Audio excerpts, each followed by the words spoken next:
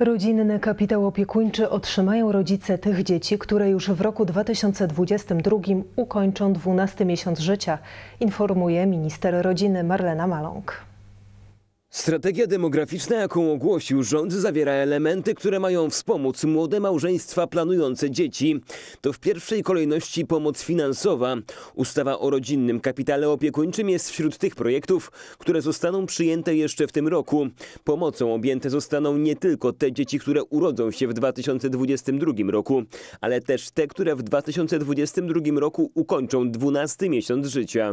W 2022 roku, jeżeli będę miała dziecko, drugie dziecko, które ukończy 12 miesiąc y, życia, już wtedy będzie można się ubiegać o rodzicielski kapitał opiekuńczy. Do rodziców trafi 12 tysięcy złotych. Środki będą rozłożone w czasie.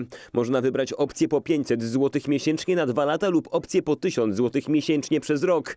Resort rodziny zapowiada też zmiany, które pozwolą kobiecie szybciej uzyskać umowę o pracę na czas nieokreślony. Czego potrzebują y, przede wszystkim kobiety? Stabilnej pracy, stabilnej, zagwarantowanej pracy, że to nie są umowy tylko okresowe czy, czy zlecenia, ale żeby to była umowa na czas y, nieokreślony. Po 15 miesiącach pracy u tego samego pracodawcy kobieta powinna otrzymać umowę na czas nieokreślony.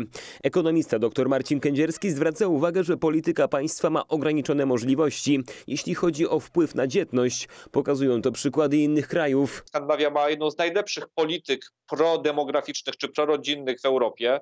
E, Bardzo zaawansowany system e, wsparcia rodziny, opieki nad dziećmi, a mimo to e, w Szwecji, tak podobnie jak też w innych państwach, takich jak na przykład Korea Południowa w ostatnich kilku, kilkunastu latach, e, te współczynniki dzietności dramatycznie spadają. Ekonomista tłumaczy, że Polsce potrzebna jest nowa narracja kulturowa.